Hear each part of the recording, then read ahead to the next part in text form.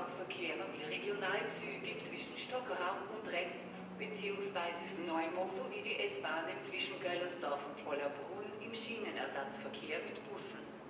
Nähere Informationen erhalten Sie beim ÖBB Kundenservice unter 051717 und im Internet unter www.at.